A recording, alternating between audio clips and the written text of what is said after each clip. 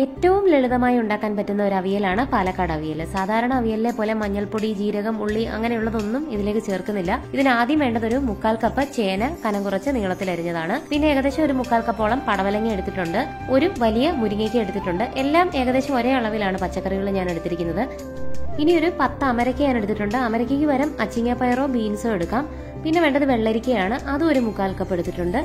അടുത്തതായിട്ട് പച്ചവാഴക്കയാണ് പച്ചവാഴക്ക അരിഞ്ഞ് നന്നായിട്ട് കഴുകി അതിൽ കറ കളഞ്ഞിട്ടേ എടുക്കാവൂ. പിന്നെ ക്യാരറ്റ് അതും മുക്കാൽ കപ്പ് എല്ലാം ഏകദേശം ഒരേ അളവിലാണ് എടുത്തിരിക്കുന്നത്. പിന്നെ എരിവിനനുസരിച്ച് പച്ചമുളക്. ഇപ്പോൾ ഞാനിവിടെ ഒരു അഞ്ച് പച്ചമുളക് നീളത്തിൽ കീറിയിട്ടിട്ടുണ്ട്. പിന്നെ ഒരു അരക്കപ്പ് വെള്ളവും വേണം. ആവശ്യത്തിന് ഉപ്പും ചേർക്കാം.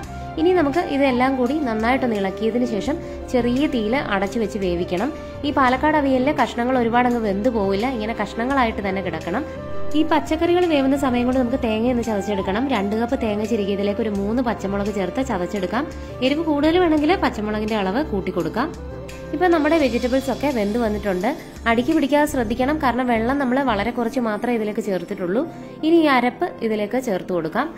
നന്നായിട്ട് ഈ അരപ്പ് ഇതിലേക്ക് ഒന്ന് ഇളക്കി ചേർക്കണം. ഇങ്ങനെ ഇളക്കുമ്പോഴും ശ്രദ്ധിക്കണം. ഈ കഷ്ണങ്ങൾ ഉടയാൻ പാടില്ല. കഷ്ണങ്ങളായിട്ട് തന്നെ കിടക്കണം.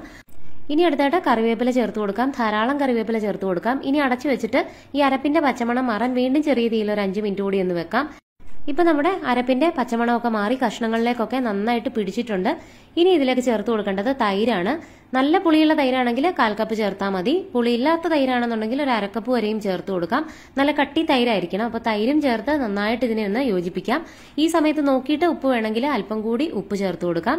ഇനി തൈര് ചേർത്തിട്ട് ഒരുപാട് നേരം ഇട്ട് തിളപ്പിക്കേണ്ട. ഒന്ന് ചൂടായി കഴിയുമ്പോൾ തീ ഓഫ് ചെയ്തിട്ട് ഒരു ടേബിൾ സ്പൂൺ പച്ചവെളിച്ചെണ്ണ ഒഴിച്ചു കൊടുത്തിട്ട് അടച്ചു വെക്കാം.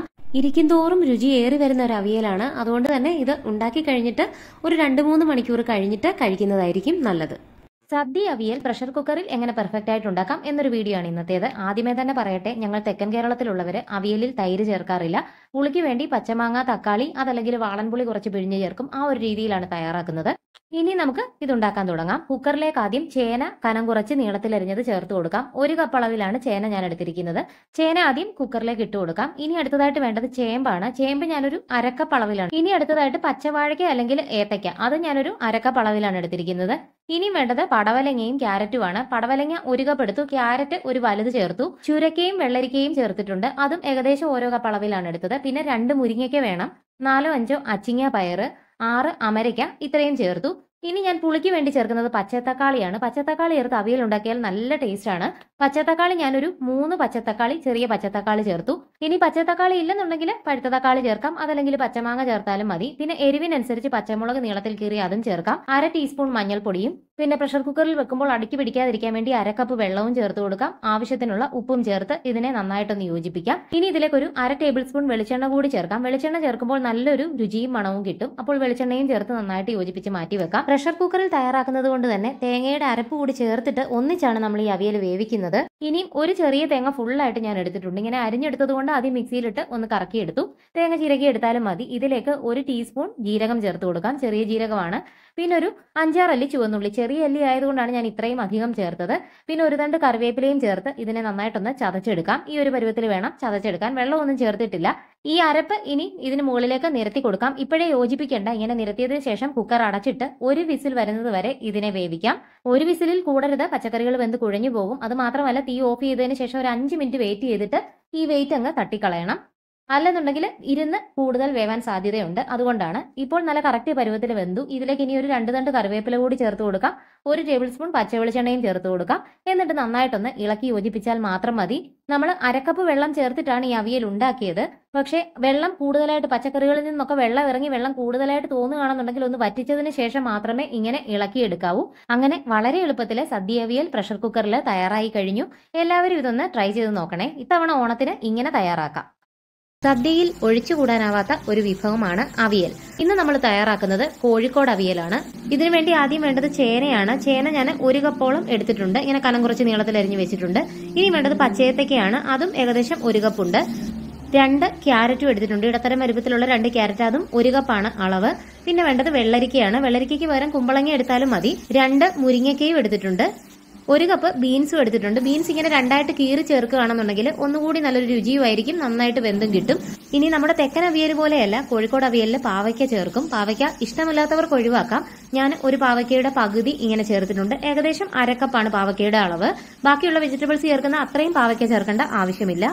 ഇനി നമുക്ക് അവിയൽ ഉണ്ടാക്കാം. ഞാനൊരു മൺചട്ടിയിലാണ് ഉണ്ടാക്കുന്നത്. അവിയൽ അടുക്കി പിടിക്കാതിരിക്കാൻ വേണ്ടി ആദ്യം ഈ ചട്ടിയിൽ അല്പം വെളിച്ചെണ്ണ ഒഴിച്ചിട്ട് നന്നായിട്ടൊന്ന് തേച്ച് പിടിപ്പിക്കണം. ഇങ്ങനെ ചെയ്തു കഴിഞ്ഞാൽ കഷ്ണങ്ങൾ അടുക്കി പിടിച്ച് കരിഞ്ഞ് ആ ഒരു പുകച്ചവ വരില്ല. ഇനി ആദ്യം ഇതിലേക്ക് ചേന ചേർത്ത് കൊടുക്കാം. ചേനയ്ക്ക് വേവ് കൂടുതലായതുകൊണ്ട് ചേന പാതി വേവായിട്ട് ബാക്കി വെജിറ്റബിൾസ് ചേർത്താൽ മതി. ഒന്നര കപ്പ് വെള്ളം ഒഴിച്ചു അര ടീസ്പൂൺ മഞ്ഞൾപ്പൊടിയും ചേർത്തു. ഉപ്പ് ഇപ്പോഴേ ചേർക്കണ്ട. ബാക്കി വെജിറ്റബിൾസ് ചേർത്തിട്ട് ഉപ്പ് ചേർത്താൽ മതി. അപ്പൊ നന്നായിട്ട് ഇതൊന്ന് യോജിപ്പിച്ചിട്ട് അടച്ചു വെച്ച് വേവിക്കാൻ വേണ്ടി വെക്കാം. ഏകദേശം ഒരു അഞ്ചാറ് മിനിറ്റ് കൊണ്ട് തന്നെ ചേന പാതി വേവിലെത്തും. ഇപ്പൊ നമ്മുടെ ചേനയൊക്കെ പകുതിയോളം വെന്തിട്ടുണ്ട്. ഇനി ഓരോ വെജിറ്റബിൾസ് ആയിട്ട് ചേർത്ത് കൊടുക്കാം. ആദ്യം ചേർത്ത് കൊടുക്കേണ്ടത് ക്യാരറ്റ് ആണ്. പിന്നെ ചേർക്കേണ്ടത് പച്ചയേത്തയ്ക്ക പച്ചയേത്തയ്ക്ക ഇല്ലെന്നുണ്ടെങ്കിൽ കറിവാഴയ്ക്ക ചേർത്ത് കൊടുത്താലും മതി. പക്ഷേ ഏത്തയ്ക്കാണ് രുചി. ബീൻസ് നീളത്തിൽ അരിഞ്ഞത് ചേർത്ത് കൊടുക്കാം. മുരിങ്ങയ്ക്ക ചേർത്ത് കൊടുക്കാം. വെള്ളരിക്കയോ കുമ്പളങ്ങയോ ഇഷ്ടമുള്ള ഏതെങ്കിലും ഒന്ന് ചേർത്ത് കൊടുത്താൽ മതി. രണ്ടും ചേർക്കാൻ താല്പര്യമുള്ളവർക്ക് അതും ചേർത്ത് കൊടുക്കാം. പിന്നെ ചേർക്കേണ്ടത് പാവയ്ക്കയാണ്. ഇത്രയും വെജിറ്റബിൾസ് ആണ് ഞാൻ ചേർത്തത്. കൂടുതലായിട്ട് അമരയ്ക്ക അങ്ങനെയൊക്കെയുള്ളതൊക്കെ ചേർക്കണം എന്നുണ്ടെങ്കിൽ ചേർത്ത് കൊടുക്കാവുന്നതാണ്. പടവലങ്ങി വേണമെങ്കിലും ചേർക്കാം. ഞാൻ അത് ചേർത്തിട്ടില്ല. ഇനി ഒരു മൂന്ന് പച്ചമുളകും ആവശ്യത്തിനുള്ള ഉപ്പും ചേർത്ത് കൊടുക്കാം. എരിവിന് വേണ്ടി പച്ചമുളക് മാത്രമാണ് ഇതിലേക്ക് ചേർക്കുന്നത്. അപ്പൊ അതനുസരിച്ച് വേണം ചേർത്ത് കൊടുക്കാൻ. ഞാൻ ഇനിയും അരപ്പിലും ഒരു മൂന്ന് പച്ചമുളക് ചേർക്കുന്നുണ്ട്. അതുകൊണ്ടാണ് ഇപ്പം മൂന്നെണ്ണം മാത്രം ചേർത്തത്. കൂടുതൽ എരിവ് വേണമെങ്കിൽ കൂടുതൽ ചേർക്കാം. ഇനി അത് വേവിക്കാൻ വേണ്ടി അടച്ചു വെക്കാം. ഈ സമയം കൊണ്ട് അരപ്പ് തയ്യാറാക്കാം. ഒരു ഫുൾ തേങ്ങ ചിരുകിയത് ഞാൻ എടുത്തിട്ടുണ്ട്. അതിലേക്ക് മൂന്ന് പച്ചമുളക് അര ടീസ്പൂൺ ജീരകം ചേർത്ത് കൊടുക്കാം. നാലോ അഞ്ചോ അല്ലി ചുവന്നുള്ളിയും ചേർത്ത് കൊടുക്കാം. ചിലര് വെളുത്തുള്ളി ചേർക്കാറുണ്ട്. പക്ഷെ വെളുത്തുള്ളിയുടെ രുചി ഇഷ്ടമല്ലാത്തത് കൊണ്ട് ഞാൻ ചേർത്തില്ല. അവിയലിന്റെ കൂടെ ചേരാത്തതുപോലെ തോന്നി. അതുകൊണ്ട് ചേർത്തില്ല. അത് താല്പര്യമുള്ളവർക്ക് ചേർക്കാം. അങ്ങനെ തേങ്ങയും ചതച്ച് മാറ്റി വെച്ചു. ഇപ്പൊ നമ്മുടെ കഷ്ണങ്ങളൊക്കെ നന്നായിട്ട് വെന്തിട്ടുണ്ട്. അവിയലിന്റെ കഷ്ണങ്ങൾ ഒരുപാട് അങ്ങ് വെന്ത് ഉടഞ്ഞു പോകരുത്. അത് ശ്രദ്ധിക്കണം. ഈ ഒരു പരുവത്തിൽ വേണം കഷ്ണങ്ങൾ ഇരിക്കാൻ. ഇനി നമുക്ക് ഇതിലേക്ക് തേങ്ങാപ്പീര ചതച്ചത് ചേർത്ത് കൊടുക്കാം. നന്നായിട്ട് ഒന്ന് ഇളക്കി യോജിപ്പിച്ചെടുക്കാം. വെള്ളം കുറവായിട്ട് തോന്നിയാൽ ഈ സമയത്ത് മിക്സിയുടെ ജാറ് കഴുകി ഒരല്പം വെള്ളം വേണം എന്നുണ്ടെങ്കിൽ ചേർത്ത് കൊടുക്കുക ഞാൻ ആദ്യം ചേർത്ത ഒന്നര കപ്പ് വെള്ളം കറക്റ്റ് പരുവമായിരുന്നു കറക്റ്റ് അളവായിരുന്നു. അതുകൊണ്ട് പിന്നീട് ചേർത്തില്ല. ഇനി ഇതിനെ ഒന്ന് അമർത്തി വെച്ചിട്ട് ഈ അരപ്പിന്റെ പച്ചമണം മാറാൻ വേണ്ടി ഒരു രണ്ട് മൂന്ന് മിനിറ്റ് കൂടി ഒന്ന് അടച്ചു വെക്കാം. ഇപ്പൊ നമ്മുടെ അരപ്പൊക്കെ പച്ചമണമൊക്കെ മാറി അവിയലിലേക്ക് നമ്മുടെ കഷ്ണങ്ങളിലേക്ക് നന്നായിട്ട് പിടിച്ചിട്ടുണ്ട്. ഇനി ധാരാളം കറിവേപ്പിലയും ചേർത്ത് കൊടുത്ത് ഇതിനെ ഒന്ന് ഇളക്കാം. ഇളക്കുമ്പോൾ ശ്രദ്ധിക്കേണ്ട ഒരു കാര്യം ഈ കഷ്ണങ്ങൾ ഉടഞ്ഞു പോകരുത്. അതുകൂടി ശ്രദ്ധിക്കണം. ഇനി ഏറ്റവും ഒടുവിൽ ഇതിലേക്ക് ഒരു മുക്കാൽ കപ്പ് തൈര് ചേർത്ത് കൊടുക്കാം. ഒരുപാട് അങ്ങ് പുളിയില്ലാത്ത തൈരാണ് ഞാൻ ചേർത്ത് കൊടുത്തത്. അവിയലിന് നല്ല പുളി വേണം എന്നുള്ളവർക്ക് നല്ല പുളിച്ച തൈര് ചേർത്ത് കൊടുക്കാം. നന്നായിട്ട് ഇളക്കി യോജിപ്പിച്ചതിന് ശേഷം തീ അങ്ങ് ഓഫ് ചെയ്യാം. ഏറ്റവും ഒടുവിൽ ഒരു ടേബിൾ സ്പൂൺ പച്ച വെളിച്ചെണ്ണ കൂടി ഒഴിച്ചു കൊടുക്കാം. ഇത്ര മാത്രമേ ഉള്ളൂ. എന്നിട്ട് അടച്ചു വെക്കാം.